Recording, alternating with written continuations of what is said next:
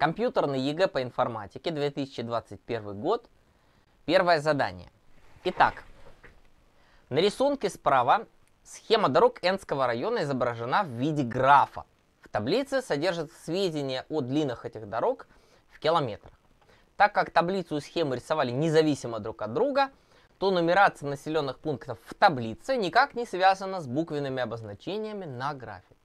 Определите, какова длина дороги с пункта В пункт Е. Для того, чтобы решить эту задачу, хорошо бы немного владеть терминологией теории графов. А, что такое граф? Это множество вершин и множество ребер. При помощи графов могут изображаться совершенно различные вещи, не только карты схематически. Да, хотя э, населенные пункты это прекрасные вершины, а дороги это замечательные ребра между ними. Э, но на самом деле в качестве вершин могут быть вплоть до того, что различные математические выражения, ребра преобразования и вообще множество-множество различных вещей. А, очень часто сейчас используются графы социальных сетей. Было бы интересно увидеть такую задачку в ЕГЭ, где это были бы друзья. Так вот, графы бывают ориентированные и неориентированные. И оба вида представлены в ЕГЭ. В первой задаче графы не ориентированные. Для хранения графа, для его представления используется не только графическое изображение. Есть еще несколько разных способов. Первый это по определению. Просто банально список вершин и список ребер. Если у нас список вершин позволяет как-то однозначно назвать, идентифицировать вершины, то ребра это пары вершин, ну, в неориентированном, соответственно, неважно, какая из них первая, какая вторая. Вот. А, ну и, собственно, множество ребер. Как мы их будем хранить, не так важно. А, но вот в одной из задач, кстати, про родственные отношения в базе данных, там будет, по сути, ориентированный граф, заданный списком ребер в таблице 2. А, но там это не важно. Что важно в первой задачке? Желательно знать такое понятие, как степень вершины. Да, и еще, я не проговорил про вторую важную форму хранения графа. Она называется матрица смежности. Смежными называются вершины, у которых есть ребро, которое их связывает. Кстати, ребро совершенно не обязательно прямая, да, оно может быть сколь угодно кривым. Да? Кстати, то, что я нарисовал, называется кратные ребра. В первой задачке ЕГЭ их нету. Вот. А теоретически они, ну, где-то они встречаются, да, если представлять какие-то задачи в форме графа. А, так вот, значит, эти вершины соседние или смежные. Для смежных вершин, вот, допустим, я маленький какой-нибудь граф здесь напишу, да, A, B, C, D, E, да. Соответственно, для смежных вершин в матрице смежности должна быть в пересечении правда. Да, просто галочка. Если это вершина A, это вершина там D, например, да, а еще есть вершина B, C, E, да, и они как-то друг с другом смежно связаны, да. Ну вот, ну я тут еще что-нибудь черкну.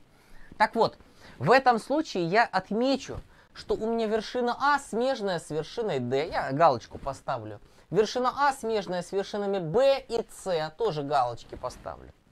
Дальше. Вершина B, кроме вершины А, смежная еще и с CD. А, CD. Да? Ну и еще вершина B смежная с вершиной Е. Да? То есть она смежна ну, со всех, кроме самой себя. Кстати, интересно, что вершина теоретически может быть смежной самой себе. Угу, да, вот такая вот пара вершин как бы сама себе. Да? Кольцевая такая дорога. Называется петля. Такое ребро называется петля. И с ним есть некоторые особенности. А именно, для данной вершины это ребро считается дважды. Она как бы хм, дважды этому ребру кратно. Так вот, значит, что я хочу сказать. Что у нас, да вот, я давайте кратенько заполню эту матрицу смежности. Так вот, вершина С у меня смежна с А и с Б. Да, соответственно, я здесь ставлю галочки. Да, и вершина Е смежная с вершиной Б. Ну и больше, собственно, ни с кем. Что-то где-то я пропустил. Я забыл про D. D смежная с А и с Б. Замечательно. В матрице смежности мы можем увидеть одну очень важную вещь, что для неориентированного графа матрица смежности симметрична относительно главной диагонали. Чего не хватает? Длин дорог. Но надо сказать, что когда это э, дружба в соцсетях, там никаких длин дорог нет. Если это Алеша, Дима, Вася, Сережа и Евгений, они либо френды, либо не френды. Правда, там есть такая тонкость, что невзаимные, да, тогда граф будет ориентирован, и как раз, кстати, матрица смежности не была бы тогда, собственно, симметричной. В э, первой задачке мы видим симметричную матрицу, всегда отсутствие стрелочек на э, этих ребрах дорогах. Это как раз означает, что у нас граф не ориентированный. Так вот, э, раньше вот в этой задачке ставился вопрос о поиске кратчайшей траектории. И все. То есть она была такая совсем простенькая тестовая. Сейчас тот вопрос, который ставится, кстати, намного сложнее. Дело в том, что если я нарисую какой-то еще вот расколбас, да, я могу спросить, а, собственно, вот, вот то, что я нарисовал, и то, что вот тут, вот, да, это, ну, давайте я как-нибудь это дело обозначу, там, не знаю, русскими буквами, там, какой-нибудь И, И, К, Л, М. Короче, да, вот это и вот то, это одинаковый как бы граф, или разный как бы граф, ну, то есть, Дело в том, что они как бы математически эквивалентны или нет. Это важно, потому что если я смогу решать математические задачи какие-то на вот этом графе, то и, и, и если они как бы подобны. В математике есть, э, в геометрии, есть такое понятие подобия э, треугольников, да, то есть они вроде не равны, но подобны. Для графов это слово называется изоморфизм изоморфизм. Слушайте, не так важно это для сдачи ЕГЭ, можно не знать про это, но я не могу не рассказать. Изоморфизм графов означает следующее. Первое, у них должно быть одинаковое число вершин, одинаковое число ребер. Без этого графы не изоморфны. Изоморфизм существует, если я могу от каждой вершины к каждой провести некоторое соответствие, да, и при этом ребра, ребра, потому что количество здесь у меня совпадает, да, но если я провожу, то у меня там все совпадает, у меня те вершины, которые были смежными, остаются смежными. Те ребра, которые попадали оттуда сюда, попадают точно так же оттуда сюда я вижу, что у меня, например, посмотрите, вот эта вершина, да, и вот эта вершина L, А и L, они должны вроде как быть, как сказать, при установлении изоморфизма должны бы совпасть. Но они у меня здесь смежные, а здесь не смежные. Отсюда вывод, этот граф и вот тот граф не изоморфны друг другу. Но интересно то, что даже если нам кто-то сказал, вот этот граф и вот этот граф точно друг другу изоморфны. Если они являются большими, то есть вершин вообще там много и ребер много, то задача установления изоморфизма является очень сложной. Говорят еще NP сложная задача, я не буду вдаваться в этот термин. Короче, такая вот неразрешенная, очень сложная проблема, которую можно только полным перебором решать.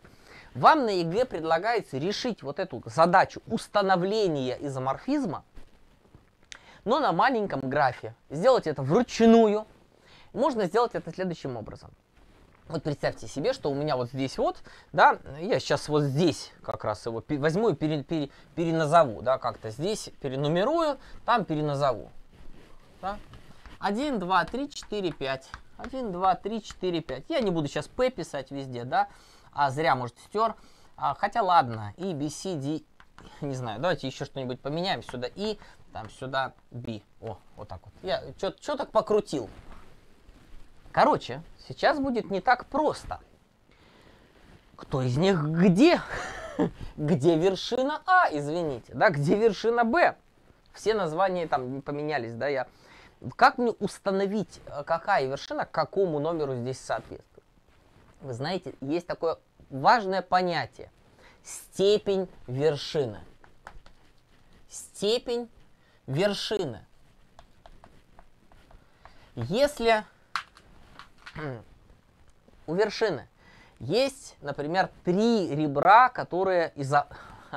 Не, не хочу вводить лишний термин. Три ребра, которые, которым она принадлежит. Вот.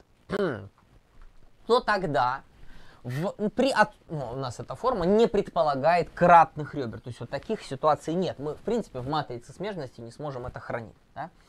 Э, по-нормальному, прошу прощения, хранить. Так вот, степень вершины означает, что у нас количество э, смежных вершин, в данном случае смежных вершин, так, ребер, которые, ладно, неважно, ребер, которые э, с данной вершиной непосредственно связана, она является их концом, их, соответственно, это число. Так вот, это число, степень вершины, не пропадает ни тут, ни тут.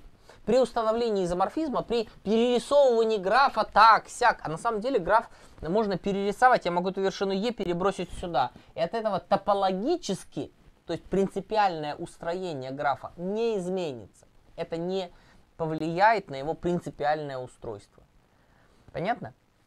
Графическое изображение для графа вторично. Ладно, так вот. У меня вершина 1 в данном случае имеет раз, два, три, степень 3. Вершина 2 имеет 1, 2, 3, 4, степень 4. Вершина 3, степень 2, это степень 2, это степень 1. Друзья, здесь тоже очень легко эти степени осознать. Посмотрите. Вот это 3, 2, 2, это 3, это 1. Я подписал не номера, я подписал степени вершин.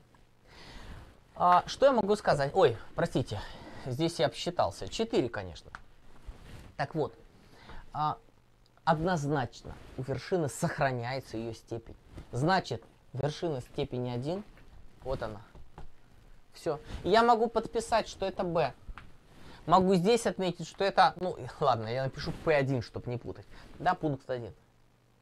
Понятно? Естественно, что подписав там, я подписываю тут. Да? Где еще однозначно? Вот эти две еще однозначно сразу попадают куда надо. Значит, вот это А, да, ну в новой моей, в новых моих названиях. Да, что еще? И С, вот она, это С. Я не ввел одно важное понятие, оно называется вес ребра. Вес ребра это либо длина дороги, либо стоимость проезда, либо время проезда по данному участку трассы. Много разных интересных вещей может назваться словом вес ребра. Граф, для которого ребра имеют веса, называется взвешенным графом. Понятно? На самом деле, в принципе, могут быть веса и у вершин. Это не запрещено. Можно вводить вот. Но смысл другой. В данном случае вот для взвешенных графов очень много есть разных интересных алгоритмов по поиску кратчайшей траектории, там количество разных, ну, много всего есть разного. Так вот, э, в данном случае после установления изоморфизма нам требуется найти какое-то простое решение, там что-то сказать про какие-то пару пунктов. Так вот, если вот эту терминологию, которую изложил, знать, то решение многих задач номер один превращается в почти шутку. Да, если понимать, что такое степень вершины. Да, еще один важный момент. А, то, что мы вот здесь видим, не, не представляет из себя, а, ну, как бы, это скорее матрица весов, но за счет того, что у нас здесь существует понятие пустоты, то есть клеточки, в которых не ноль, а просто пустота, это означает, что ребра нет, да, то получается она же и матрица смежности. То есть если мы на числа смотрим как на галочки, то соответственно я вижу, что вершины P1 степень 2. Просто раз, два, я просто посчитал, сколько чисел, да. Нет, безусловно, я мог бы вот эту вот э, матрицу использовать, чтобы нарисовать от руки с названиями P1, P2 и так далее, P7. Но мне не интересно это делать долго, не хочу. Мне нужно всего лишь определить длину дороги из пункта В в пункт Е. Соответственно, главное найти, кто В, кто Е. А давайте внимательно посмотрим на В. Раз, два, три, четыре, пять. Пять ребер слово инцидентно, инцидентно пятиребром, вот как называется. Так вот, вершины Е, раз, два, три, четыре. Ага, а у меня есть еще такие вершины. Здесь 2, 2, 2, 3, 2. Опа, В и Е попались. Я сразу могу сказать, стоп, посмотрите, вот у меня P6. Раз, два, три, четыре, пять смежных вершин. А вот другая P4. Раз, два, три, четыре. Да? Все, они попались. P4 и P6 это и есть В и Е. На пересечении я вижу число 20. Это, собственно, вес ребра, ну или длина дороги из пункта В в пункт Е. Или наоборот, потому что граф не ориентированный. Эта задача оказалась чрезвычайно простой. Желаю вам успешно сдать ЕГЭ по информатике, стать отличными IT-специалистами, пользоваться свободным программным обеспечением и быть этичными людьми. С Богом!